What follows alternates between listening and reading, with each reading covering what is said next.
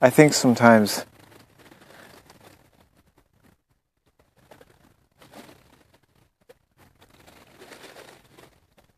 that what I most wish to say to the world were what I most needed to hear.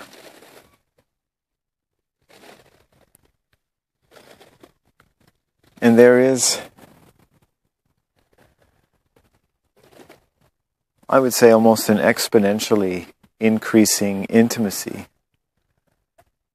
to, as we say, reach down inside and say what you need to say. I've spent the better part of my life attempting to do that, attempting to do just that. And I say this because I have learned, as I suspect I always knew, that everybody has a voice. Everybody has things they need to say. People, families have things that need to be said. But the most holy and sacrosanct relationship is what you need to say irrespective of whether or not anyone else is listening.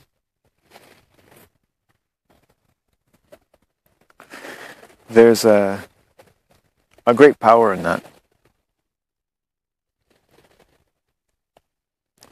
There's a great power in that that is in life, and a great power in life that is in the ability, the willingness, the attempt to say, to tell ourselves what we need to say.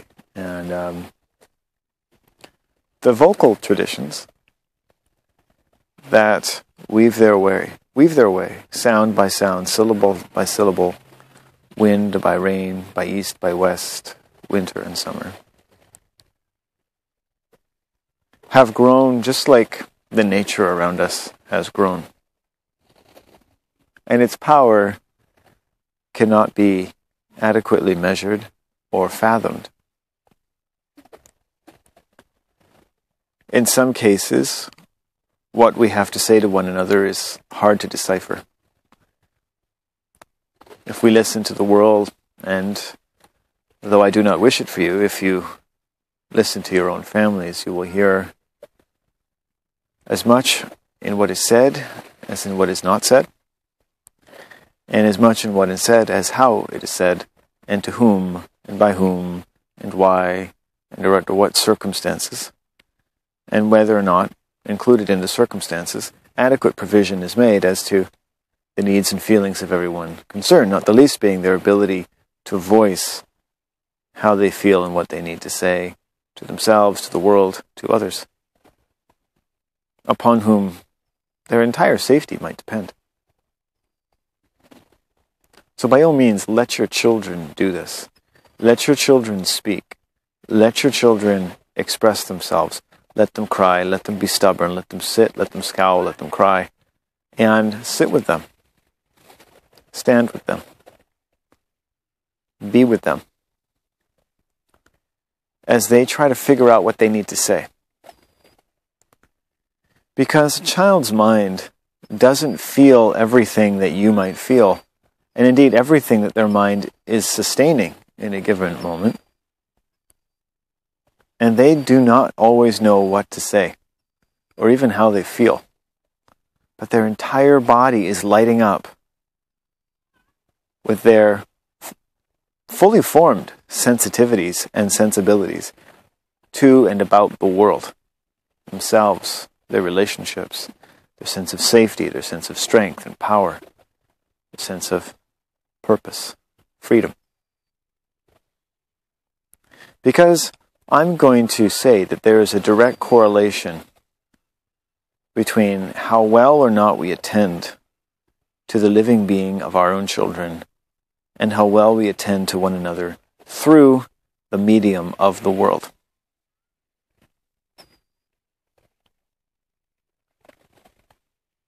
And if you weren't heard, and indelible impressions become propensities, there is still at any time the choice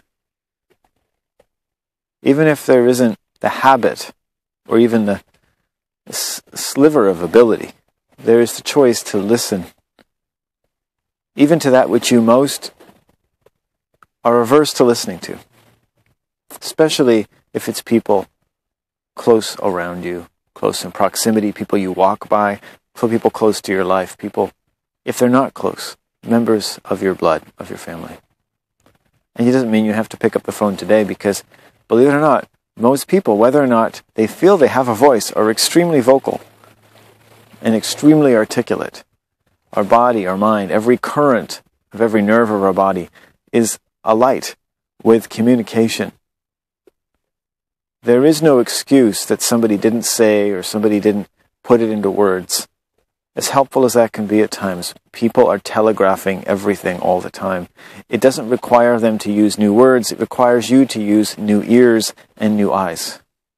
And one of the things that give that to us is using our voice, even if it means admitting that by no fault of ours, no choice in some afterlife, no karma, we happen to be placed in circumstances at any time in our life, and certainly when we were children, where the people around us, upon whom our lives depended for one reason or another, could not make adequate provision for our safety and our freedom of motion and of feeling and of our voice. Doesn't matter if it seems difficult.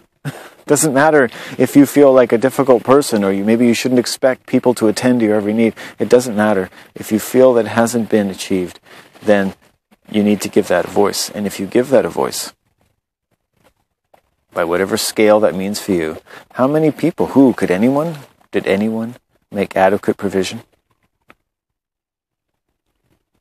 This gives you new eyes and this gives you new ears. And you can use them however you like. There's no need to jeopardize comfort or safety, just people have a pretty good set of lungs. They've got a pretty good way of talking. And what's really important if I had nothing else to share with any other human being, what's really important is what you have to say. It doesn't matter if anyone even hears or understands it. Of course, it's going to matter, but it doesn't have to matter. It doesn't really matter. It's enough that you tell yourself. Because quite frankly, coming speaking from experience, it's not always safe to vocalize things almost the more you need or feel the need to vocalize them to often very aggressive people. And aggression has a yang component of physically harming property, contracts, distrust, all that kind of stuff, bodies, and a passive aspect of simply tacitly excusing or withholding proportional empathy, understanding, or interest to the spoken and unspoken needs and feelings of others within their trust. As human beings, much is made of mind control, MK Ultra, and the conspiracy world. We grew up with at least two minds, maybe more.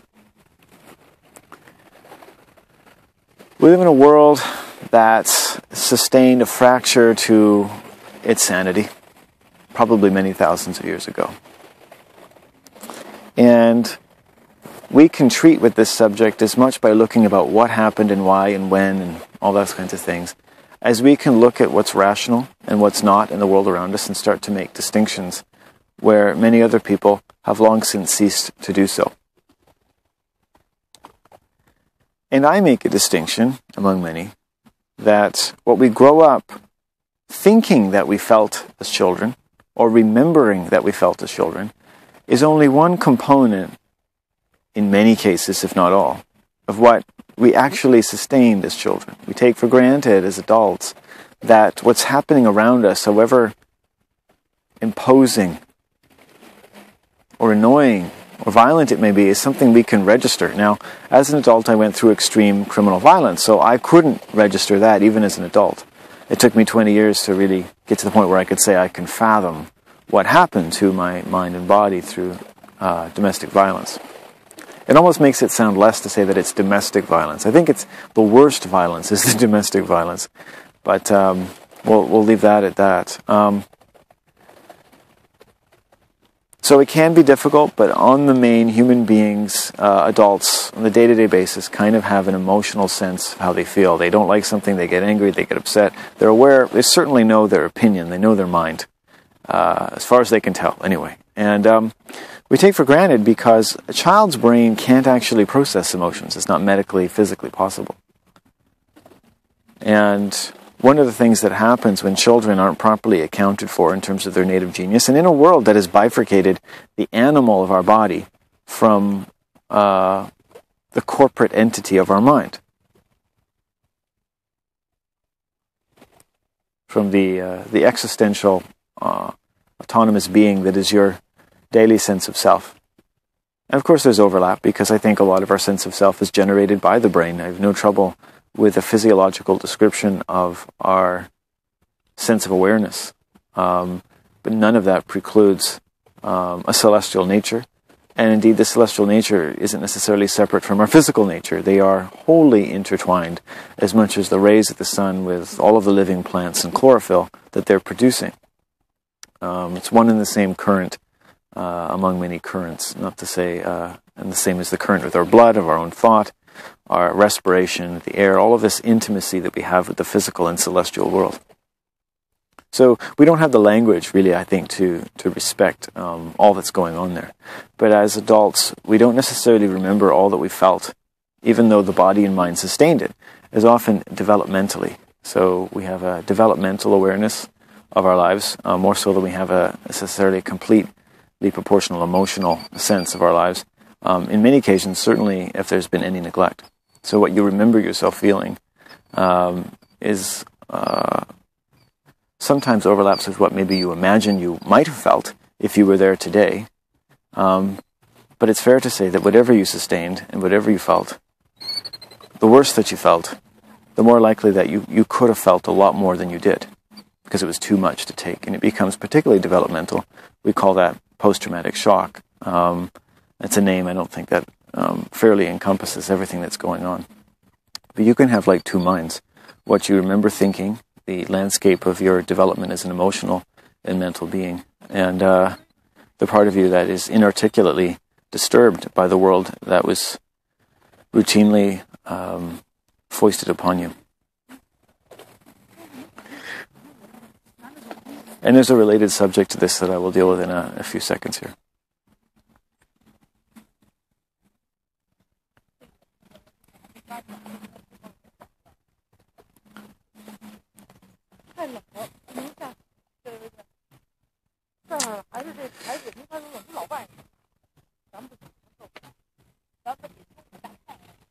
Just some people uh, walking by.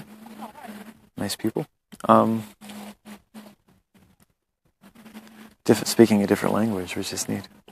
Um, the other side to this is uh, a question I have for the viewer or the listener is do you think that you can account for all the kinds of coercion that you've experienced?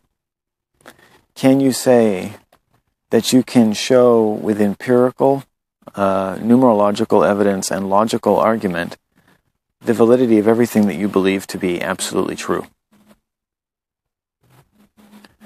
In how many areas of your life do you think it's possible that you consider your opinion or that of others to be the same as fact, which it may or may not be true.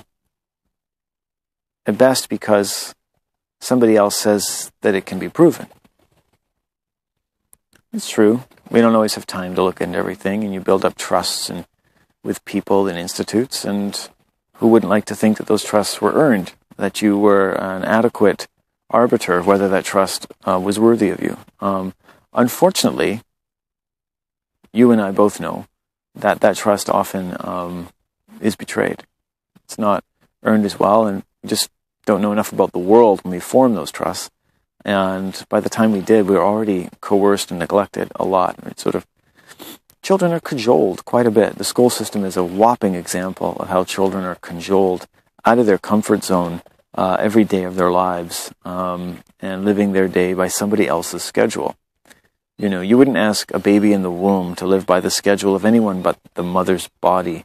And yet, as soon as we get out, We are so enthusiastic to make that baby live by every other schedule, but that which is most natural for that baby f- through the most critical time of its development as a cellular, uh, sexual or prospectively sexual, emotional, mental, and celestial being. So much so, I think we've just become a nerd to these levels of coercion. I think it just this hits that part of the mind where it's like, oh yeah, I can see how I might feel bad about that, and there are areas of our life that I think suck, but you can't remember how that, how your body sustained that belief system. Those belief systems inveigled into all of our families for hundreds of generations. Many videos ago, I talked about, you know, considering how difficult a situation we may actually find ourselves in at various points in the middle of our lives, in the middle of history, and wherever else we are. Most of us, I don't think, ever get nearly as much chance as we like to discover the relationship between where we think we are, who we think we are, and who answered those questions for us. And have we adequately answered them for ourselves? I think we're blood connected to the celestial psychology of the cosmos and all of our ancestors.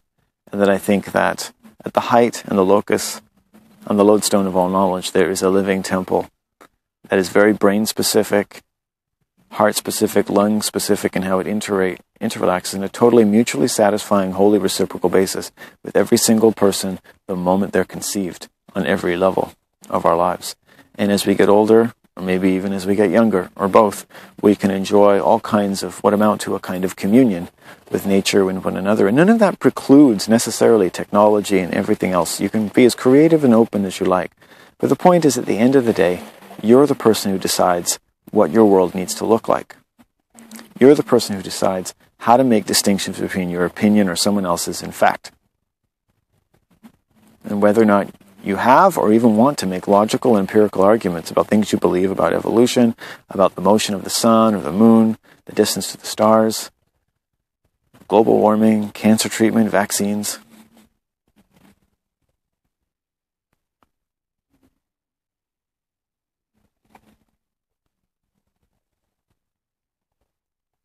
what happens to the human mind, which I think is kind of a double mind, it's all of it is to some degree schizophrenic. Schiz is like the split. It's like a schism, right? A split in the mind. But a split, like we've seen with the mind and the body, doesn't necessarily mean that something is completely separate. There can simply be a distinction like night and day. Right? Are they really all that different? There's been a change in our orientation to space, but space itself has not changed the general laws and currents of life have not changed, even all, all the light goes out of our lives, virtually. The body lives in change. It lives in patterns and currents of growth and transformation, often very, very complete levels of transformation. Indeed, all the transformation I've experienced, a combination of all the elements built up from my body, uh, history, life, the cosmos, and just the situations of my life and people and relationships and where I live and all those kinds of things. The language of transformation has found me on a complete level every day of my life, particularly so when I'm going through acutely transformative episodes of my life. And in here, in these moments, in those times of my life, I, I become very much more closely acquainted with my voice and myself.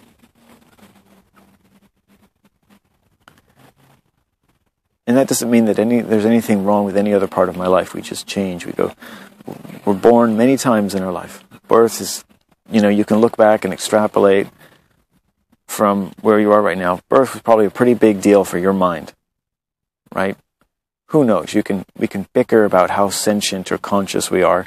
The point is, the body is sustaining uh, the effect of causes. That's what our bodies do as sensory organisms, as just a bunch of matter. It sustains in, impressions from, from its environment, and we, we started doing that.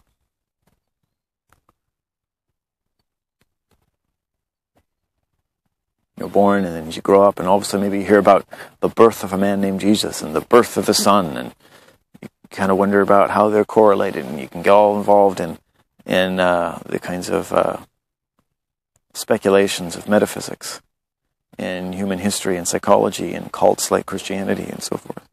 And there are compelling elements of any number of these things. But you go through your own particular alphabet, your own language. You have your own voice. Your family has its own voice. And what do we say about people who engage in recreational activities or recreational drugs and things like that? Anything, any person, if it absorbs your life so much that you cease to take care of yourself, and I would add, make distinctions between what you'd like to believe, true or not, and empirical or objective fact, then I think it becomes to be quite necessary that we ask ourselves, or those people ask themselves, whether or not um, they're losing something that, if they were in a clearer state of mind, they actually would not choose to lose. And society around us is built up of enormous amount of loss in that and many other senses. It's built up of, of things that we've lost in ways that we've coped with that the ways that we've learned to endure it. In every generation, children are brought up learning, right? We want our children to learn about all kinds of wonderful things. They're learning to endure us, they're learning to endure the world. And they're very, very good at it. And they get rewarded in many occasions for doing that, and they get punished if they don't do that in the way their family or a given part of society likes. And I haven't met a single human being who hasn't experienced that acutely in their lives at one time or another. Why, why do people give their souls to religion? Why would someone, Patricia Steere is a prominent person in the Flat Earth cult that's been going strong for about three years now. Not once, in fact, she openly admits that she can't give any logical empirical evidence in and of herself to convince me or anyone that the earth is, is flat and that it should be considered a fact. She simply says that it is that should trouble people, not, not even if you're just in that cult, in any cult. How many times do any of us do that? Because it's expedient to take us someplace we want to go, we need to do some other things. It's like a vehicle, right? Conflating opinion or what you'd like to believe with a fact is like a vehicle. It takes you places. It's uh, almost like a drug. In fact, maybe that's what Marx said when he said the religion is the opiate of the masses. It's, it's enthralling. You know, I think on some level it's like what some very rich people in the world probably feel when they first, you know, pay to watch a snuff film or get given some sort of underage prostitute to deflower, probably on some kind of drug, speed, cocaine, or some kind of combination.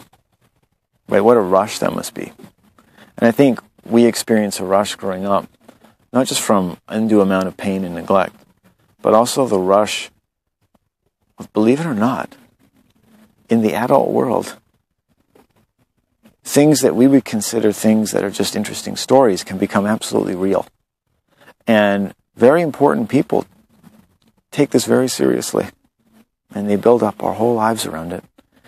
They, they take care of the temple called all that human beings know, all that should, they should rely on, on, and all whom they should trust, and all whom they shouldn't trust, including themselves.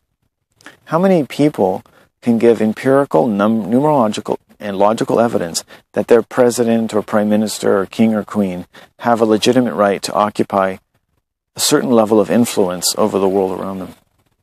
And then anyone else around them, any institution, how do you know that? Faith, right?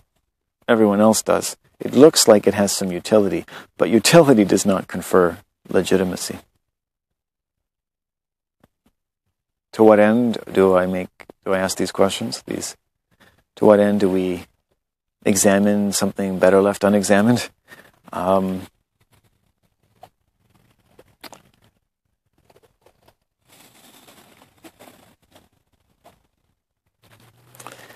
because human beings are taught not to think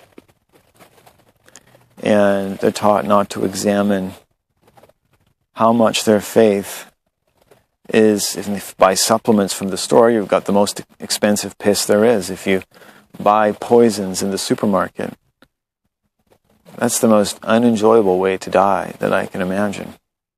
Yeah your body runs down eating digestion everything free radicals but do you really want to crank that up like 10 notches for your body by eating processed food every day the toxins that humans take in all the time is amazing. It's almost awe inspiring. how much we go about the business of injecting every kind of poison into our air, water, food supply, and even directly into the blood of our own young. All on some level by usually hundreds of millions of people so that we can be safe and secure and keep keep the wolves from the front door. The seraphim in the garden that are, you know, the Coke and Pepsi, the Microsoft and Apple, the Republicans and Democrats of the world. The cosmology and string theory and quantum physics and uh, particle accelerators, telescopes and images of deep space and lunar landings and Martian landings. It's all dazzling array. Very dazzling. How much uh, do you know that any of those things have happened or even could happen? Trust, faith. And even if you trust all those people, can you trust yourself? In what areas of your life would you not use that level of faith? Would you close your eyes while driving? Um, would you walk across the road, or would you send a three year old across the road and have faith that they'd make it? What kind of areas of your life would you not use that level of faith? Would you go down a road blindfolded in a city you've never been, accept some food in one of your hands, and begin to scarf it down? Because someone sidled up beside you and said, They're the doctor and guru of all eating, and if you can eat this on faith, you will be a better person. And we're experiencing a real bad disease where people aren't eating what I tell them to.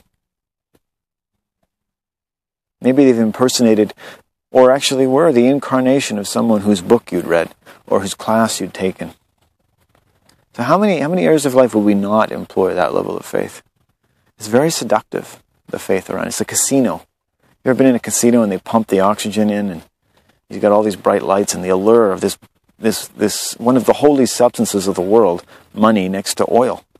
Right? Power. It's like a substance. But all wealth comes from people. And depending on how well you think, it's possible to give much more power than you absolutely need to to all the kinds of psychological machinery, to say nothing of the physical tanks rolling over people, whose sole purpose is to dazzle and baffle the human mind into submission. They got a Jesus that that threw the money changers out of the temple who asks you, maybe someone put words into his mouth, to give you his, your soul, to give him your soul. In an act so important, the axis mundi of all creation, that essentially confers an angelic status upon all the people who actually tortured and killed him, Jesus Christ and sets a precedent that anyone tortured who happens to retain any kind of true humanity, nay, divinity, is experiencing the most important creative act in the world. It's almost like an orgasm. An orgasm of creation in the most torturous and humiliating thing. Now, ask yourself how many billions of people believe that, go through their entire day and devote whatever else is going on in their life, their highest level of communion and any pleasure they're allowed to have after that to, to that story and to stories like it, including evolution and global warming and cancer research for some cure, although any doctor has any mandate to cure you of anything. Think about the level of faith and devotion. Do you think anybody benefits from that? Do you benefit from that? And of course, the answer is twofold. To some degree, people do benefit from doing that, and to many degrees, they don't. And a lot of that has to do with how they feel, and how they might have felt as a kid if they had the ability to feel the extent of the stress imposed upon them and neglect. Now, whatever neglect we've suffered, whatever's happened to our mind, our choices, you can reject all of that. You can, you can be agnostic of everything. No one can arrest you for that. Be an agnostic of everything you hear and everything you see. Because it's not a revolution. It's not going to be another war. It's not going to be anything. And there are lots of great things out there. And as great as they are, they're never going to be the thing. The thing that if you do this thing, everything else will, will gain a million times more value that is helpful to everyone in the world, be it a concert, a group, some words, an event, just people doing nice things, a smile on the street, whatever it is.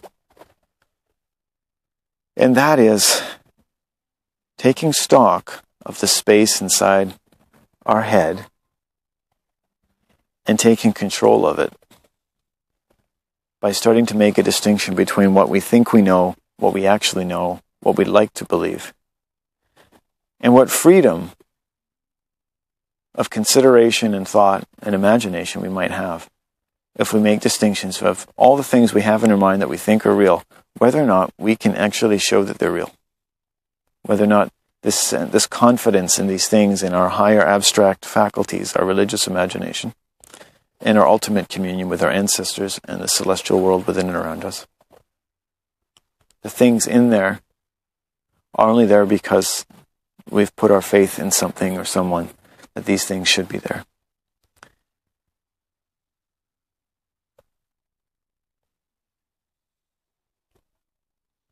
People like to build their own homes. They fantasize about having the most amazing mansion.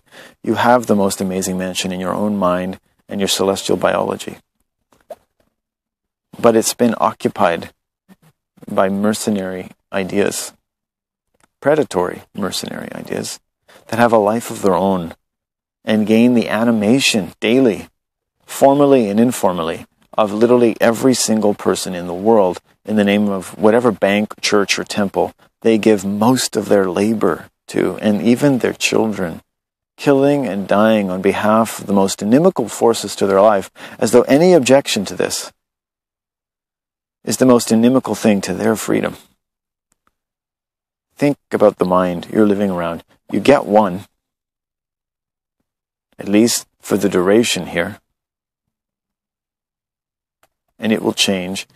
And uh, but while you're, you're on this earth, you know, if you've ever wanted the nicest castle, you have one. You know, use it.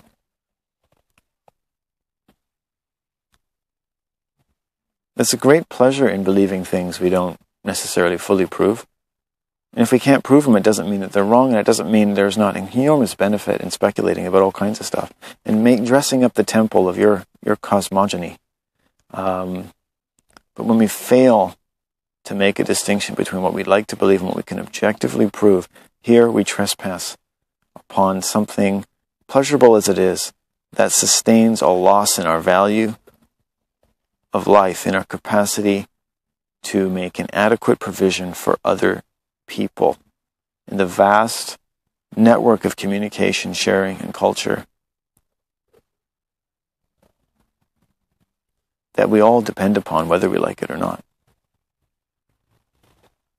You want to make a vote, you want to do something for the environment, clean up your mind.